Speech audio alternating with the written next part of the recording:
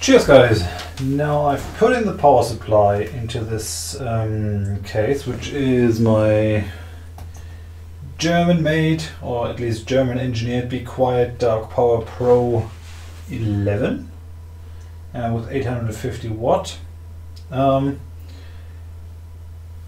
as you might see, I have plugged that into the power. I've turned the switch to to off actually. Should be off now.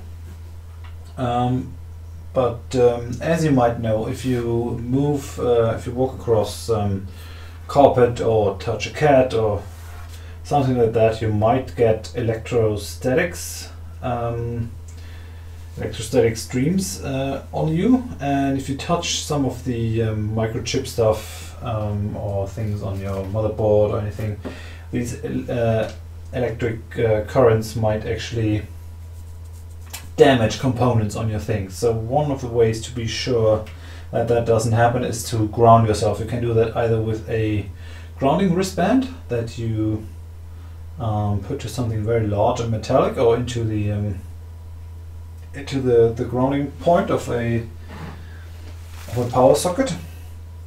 Or you can just plug in your, your power supply and then touch the metal of it um, to get rid of any um, any electrical currents that you might have on you, um, just to be sure.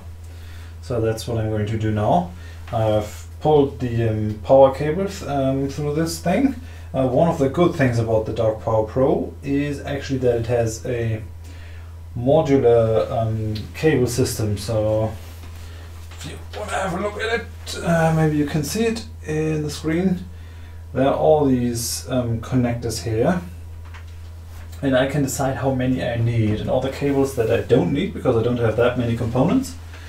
All these cables are going to stay out of the case. Um, with the um, with the Dark Power Pro, there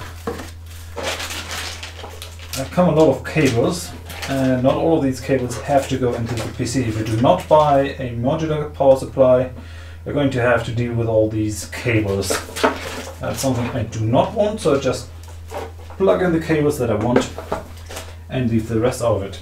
Um, that's it for now. In the next um, step, I have to put in the um,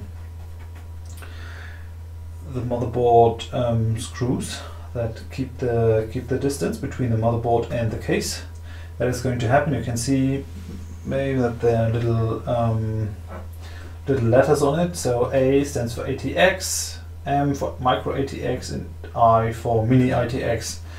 Um, these are different sizes for your motherboards. We're going to have an ATX uh, motherboard and depending on the size of your motherboard you have to put um, the screws onto different in different positions so that your motherboard sits on this nice and firm. Going to put in the screws but then we're actually going to um, do stuff on the motherboard before we put it in because the um, big Dark Rock Pro um, CPU cooler that I'm going to use is actually a real pain to install inside the case. So I'm going to install that on top of the motherboard and then we're going to put the motherboard in, which should make this a bit easier, I hope.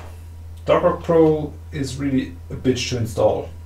I'm not looking forward to it, but it's a great cooler, so I'll put up with it, I think. So see you later, guys.